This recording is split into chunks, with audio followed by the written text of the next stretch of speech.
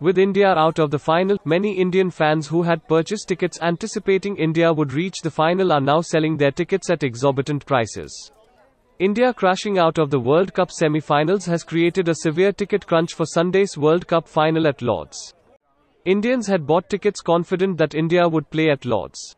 But now, since they are in England, the fans have decided to watch the final. Those who are not watching it are trying to sell their tickets at 50 times the face value. In fact, England and Kiwi fans expected India would sell.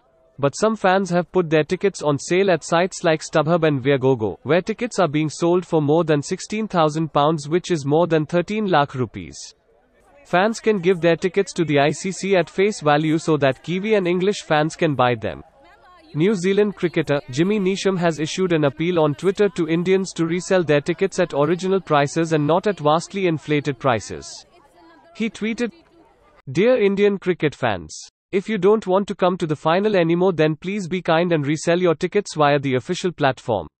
I know it's tempting to try to make a large profit, but please give all genuine cricket fans a chance to go, not just the wealthy.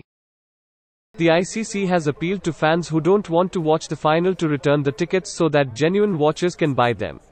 Will the fans oblige?